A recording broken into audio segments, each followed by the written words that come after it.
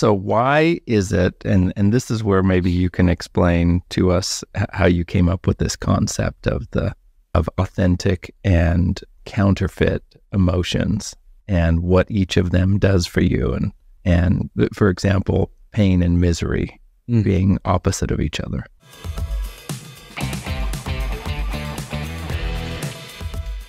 Yeah, or counterfeit to the yeah, I, yeah. I'm glad you just you brought up that distinction because when we're growing up, we're taught opposite emotions. We're taught on one end of the spectrum, love, don't hate. And it's really easy to see the opposite side because there's the spectrum and over here is love, over here is hate.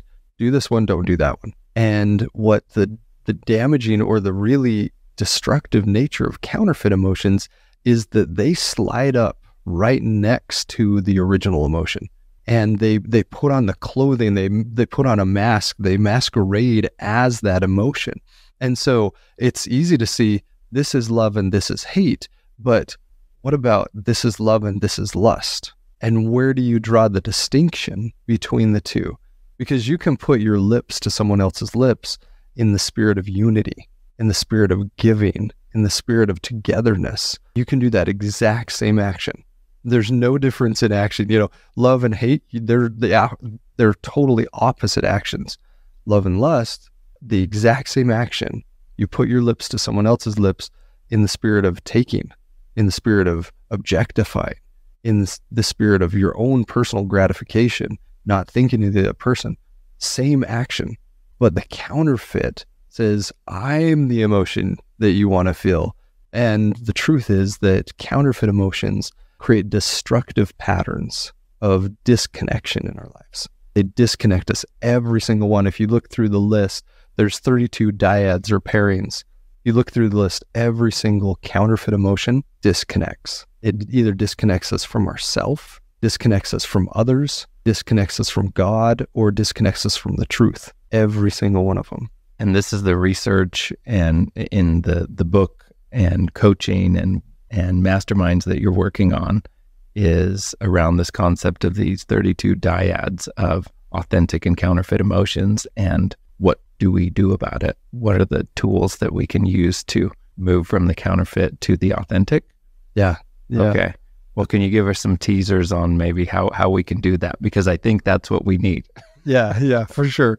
Um, so the first thing is is understanding how to identify whether the emotion you're feeling is is authentic or whether it's counterfeit. And there's four there's four criteria to identify the type of emotion you're feeling. The first one is connection, just like we talked about.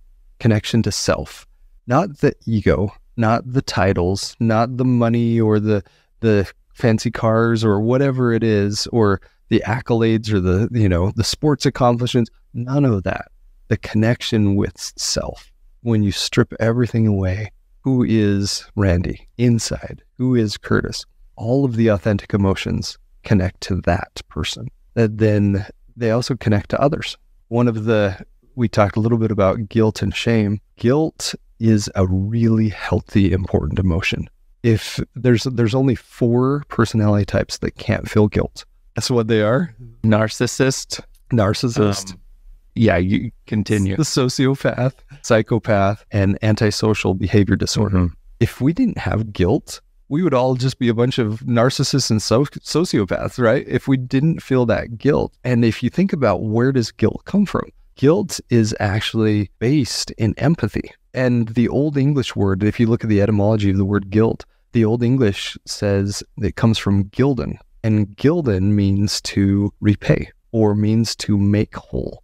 The feeling of guilt means I feel I need to make you whole. If I do something wrong to you, then the feeling of guilt says, hey, go make Randy whole. That's guilt. Shame, ooh, shame is one of the most damaging emotions we can feel. If you look at the frequency, this was fascinating when I found the research on this.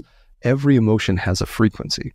And if you look at the frequency, apathy is right at the bottom. That's the lowest emotion you can feel before and in your life is apathy where nothing matters. There's nothing good. Everything is is just this dark darkness. And not too far above that is shame. But if you look at the frequency of guilt because it's based in empathy, because it knows how it feels. You know, let's say I punch you in the arm or whatever, you know, I know how it feels to be punched in the arm.